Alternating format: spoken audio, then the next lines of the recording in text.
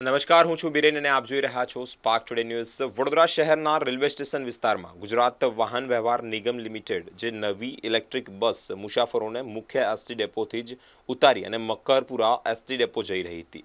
ત્યારે જે તે સમયે જ રેલવે સ્ટેશન પાસે જ એક ટેમ્પા સાથે અકસ્માત સર્જાયો છે અને એ જ અકસ્માત સર્જાતા સરકારી જે ઇલેક્ટ્રિક બસ છે તેને નુકસાન થવા પામ્યું છે. સમગ્ર મામલે પોલીસે ઘટના સ્થળ પર પહોંચી અને વધુ કાયદેસરની કાર્યવાહી હાથ ધરી છે. અકસ્માતને લઈને જ રોડ પર ટ્રાફિક જામના પણ દ્રશ્યો સર્જાયા હતા. અકસ્માત સર્જાતા જ આ ઇલેક્ટ્રિક બસ છે તેના વ્હીલ પણ જામ થઈ ગયા હતા.